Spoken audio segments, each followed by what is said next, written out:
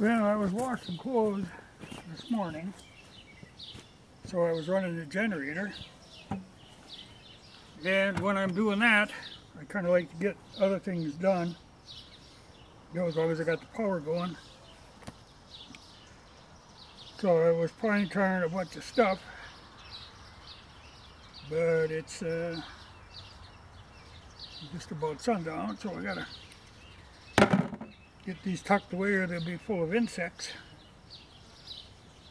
Know, I put a pretty heavy coat on.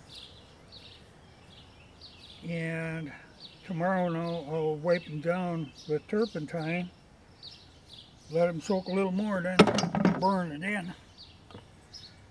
But it's just assorted stuff that uh, you know the hammers and hatchet handles these are all Bowman but they come with a varnish on them so I was sanding all that varnish off.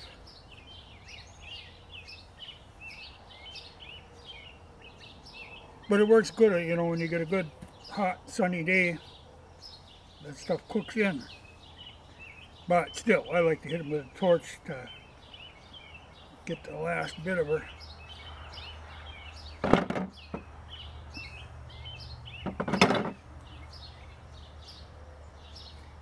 There's a few bugs on here, but it'll give a better grip. But if I left them out too long, then the gnats start coming.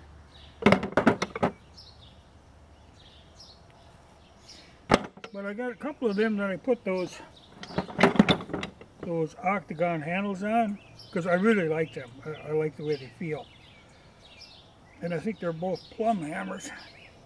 And then this one is also Plumb, but it's of the smaller size, you know, uh, much lighter than what like this one is. You know, it's a whole, it's like your, this would be a great one for a kid, you know, because kids got a habit, well, and women tend to do too, with a, with a hammer, they end up, they choke up like this. They're trying to use it. Well, give them a light enough hammer, and they can learn to use it right, get the whole swing on it. Oh, I was going to say too that one, this one, is the one that I had found laying down by the bridge along the highway where it had fallen off of something and a snowplow had hit it and completely shattered the handle. But very good hammer and it's actually American made hammer. So I think it probably was, you know, Uh, uh, a pretty expensive hammer in the first place. But that's a handy sized hammer too for serious pounding. But I found the right handle to fit that. And this little ball peen, I can't remember, I just picked that up not that long ago. I don't remember where I got that. But I had a handle for it. Then I got a couple of them little hatchets. And this is that big five pound Collins, which I think, you know, I, I usually split wood with a maul, but I sometimes split with an axe, and, and some of them True Temper ones work very well. I have a True Temper Perfect. It is an excellent wood splitter, something to do with the shape of the head, but you've got a lot of momentum with a five pounder, you know, because my mauls are usually five pounds. So I don't know, I'll maybe give this a try.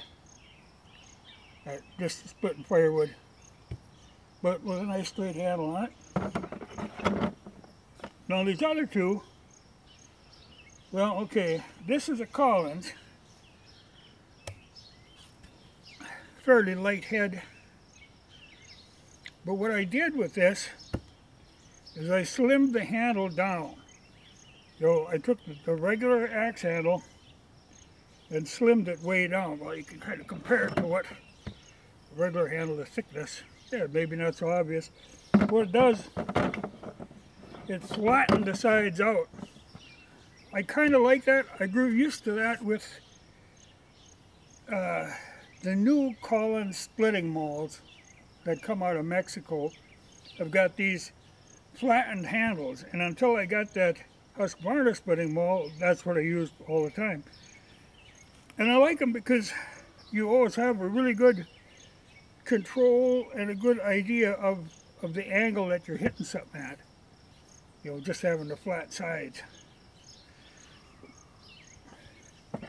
That's not particularly what I needed, which is why I got a little inventive with that handle. Now this one is a little different. It's a Sater Banco, old Swedish.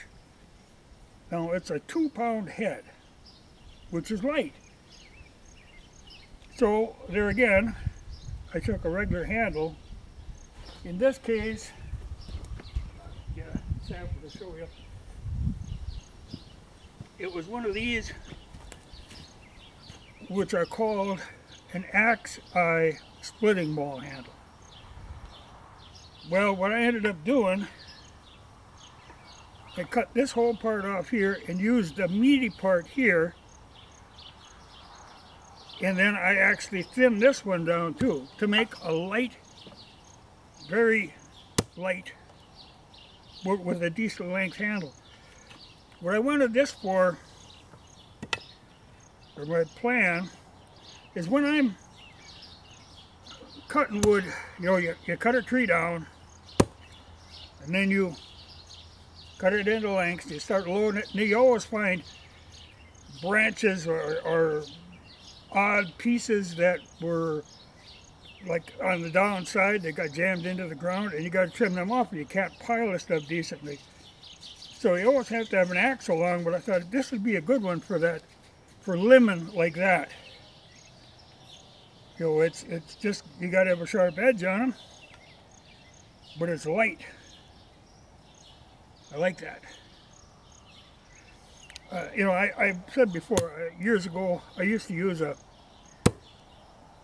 well, it was a Sandvik. And that's how I first got into the Swedish axes. I had bought that, had no idea what I was buying. And in using it, the, the regular short handle, you know, it came with a, a regular handle like like any of these come with, you know, that little short thing. Well, that broke, and the head was almost like this, almost identical to this, though this is a Stanley. Well, I took that Sandvik and I put a, a cut down handle from a double bit axe. I shortened it up to be about that long. I found that to be the handiest thing, especially on the trap line. It was easy to carry on the dog sled. It just worked out very well. And I've kind of missed that one. I, am not sure that got mislaid someplace. But I know, you know, like I say, that got me into the Swedish axes, and that's where I kept using that thing. And then the one day I figured, I got to figure out why this one works so well. Well, and I got to looking at it, and it said that Sandvik on it, and then I looked it up, and yeah, it was from Sweden. Because it just outperformed all the other hatchets that I had. You know, it just worked very well enough to us, you know. Well, they did a couple of pitchforks too. That they put the new handles on.